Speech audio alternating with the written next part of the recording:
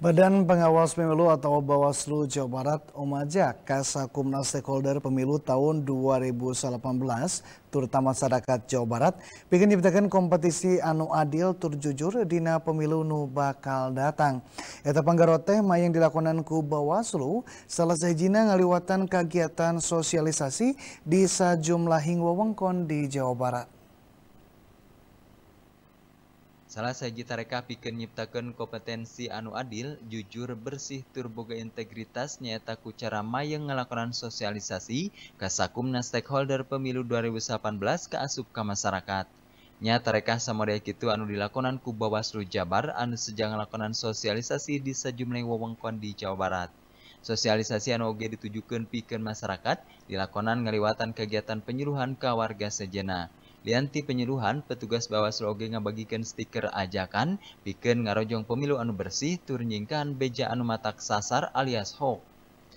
Ketua Bawaslu Jawa Barat Abdullah nemberakeun pihakna miharap pemilu 2018 bersih tina praktek money politik, kampanye hitam, kampanye anu dipapayasan ku hoax, serta kampanye anu dipapayasan ku kaceceb.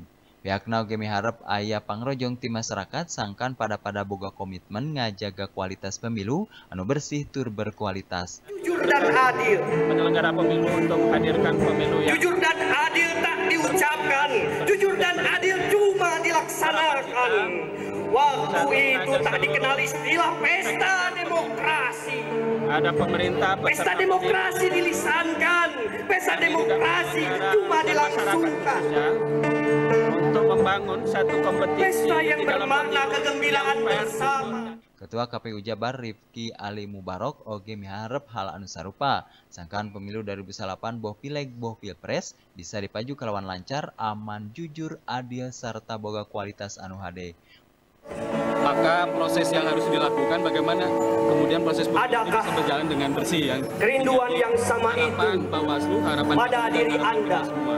Maka kemudian KPU Semoga penyelenggara yang membuat regulasi, maka kemudian kita berharap semua peserta pemilu dan semua pihak bisa mematuhi semua ketentuan yang berkaitan dan pelaksanaan Upama nilai karena indeks kerawanan, Jawa Barat mangrupa provinsi anu rea potensinya harapan pasoalan, bukituna kampanye pemilu 2018 anu bersih turboga kualitas HD, jadi salah saji tareka pikeun nyegah mangpirang pasoalan anu dierong bisa karendapan salila pemilu 2018.